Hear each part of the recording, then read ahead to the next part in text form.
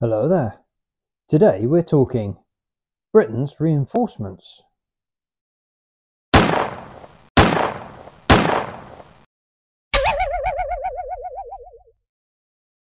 Yes, hello and welcome to the channel.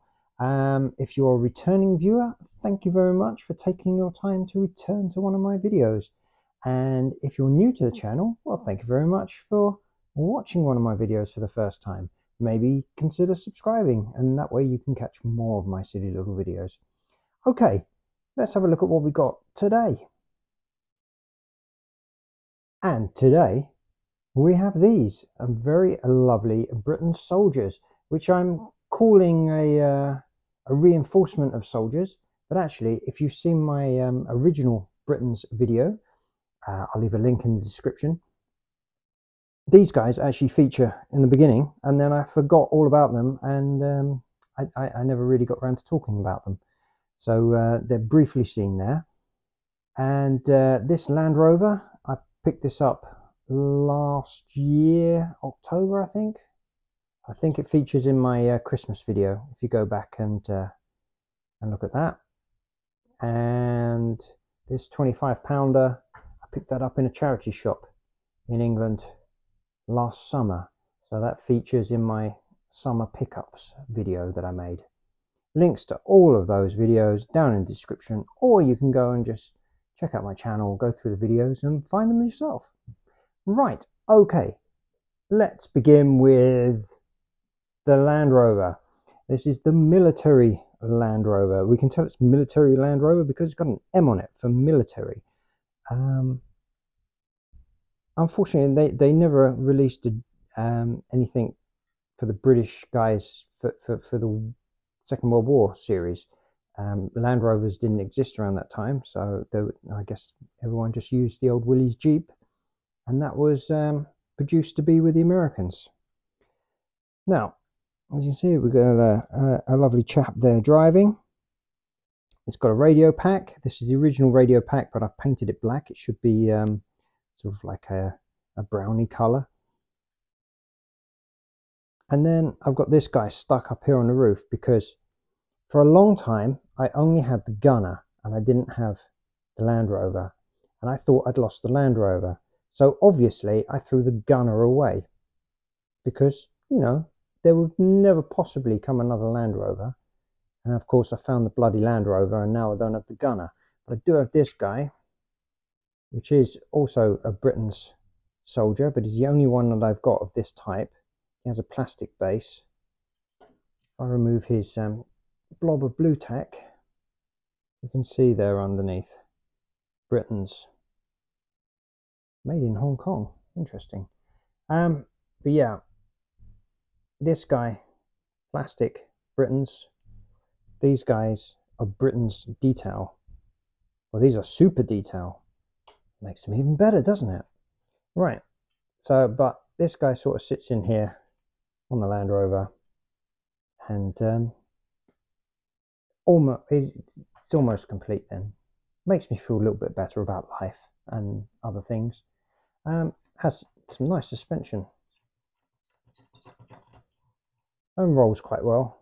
I remember playing with it quite a lot when I was a kid. So this one's actually quite beaten up well, it's got a few dents and scratches in it, but a far, far more than I ever had on my um, German scout car and my Willys Jeep. So um, this one obviously had a harder life. It's also missing a wing mirror, I've just noticed. Right, okay, so that's the Land Rover. Right, now let's have a look at these fellas then. As you see, they are the Britain's Super Detail because they have super detail. And these are more modern day soldiers. Well, they would have been modern day from the 1980s, I guess, when, when they came out. So I have this set of paras, paratroopers. This guy, unfortunately, the barrel's broken off his gun. We've got two guys with rocket launchers or bazookas. And we have I don't know is it a captain or a major maybe a lieutenant with his pistol. All set for action. It's pretty cool.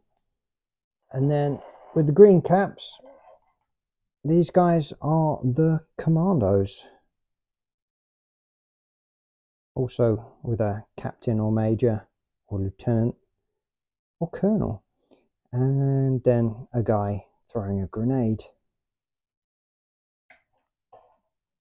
All pretty cool. You can look at the difference. Not only do they have different hats, they have different coloured guns, which is pretty cool. And also their camouflage is different, the backpacks. So it's quite varied, uh, different paint jobs. Maybe that's why they're super Britains.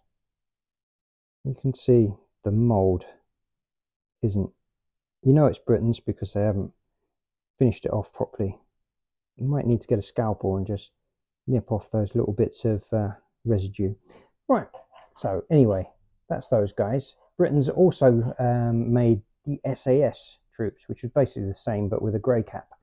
Um, I'll see if I can find a picture, and if I do, it will come in here. And if I don't, you'll just have my finger. Right, okay. Um, now, the last thing I have is this beautiful 25 pounder.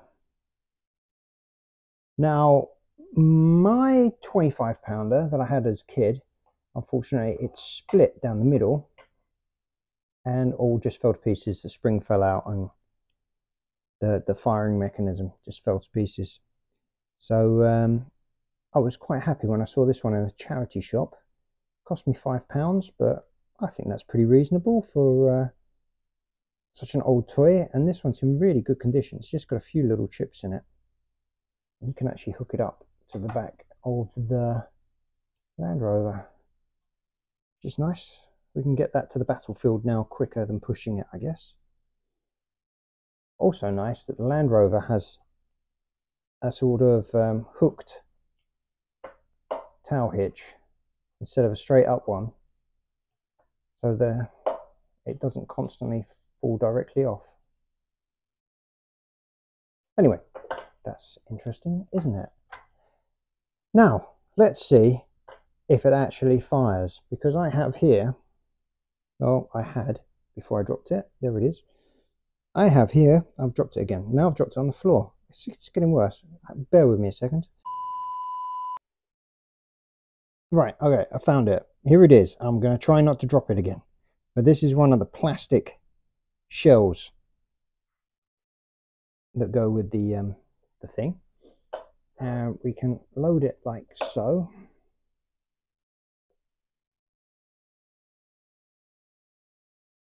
And then we'll see if it fires. Right, let's move these guys to some, some form of safety. And does it fire? One, two, three. Yeah, it fires. Super exciting that is. Let's do it again.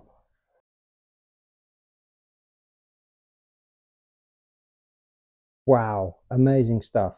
Right, okay, now I have also heard rumors online. Online? Rumors? I'm uh, all falsehoods and um, nonsense. People have put down in the comments that they used to fire matchsticks. So I've got a matchstick. I want to see if it actually fits. Does it fit down the barrel or is it going to jam it up? Oh, it just fits in there. Okay, right. Exciting, exciting times. The matchstick is in there. Let's see if it fires. Full elevation. Ah, yes. It got stuck in the barrel. Okay, so my matchstick is too big. Let's get rid of that. Now I'm going to try the toothpick, which actually looks like a stake. It's great for killing vampires of a small scale vampires. Okay, there it is. Full elevation and fire. Fire. There we go. Oh yeah, that one went well. Did it go better than the plastic thing? The plastic thing in there again. And fire. Oh, Yeah, definitely went better than plastic thing because that just landed there. Look, I got another one. It's just a toothpick. I've cut it in half. Thus, I have two things. And fire. Yes. Now, that was full of excitement, wasn't it?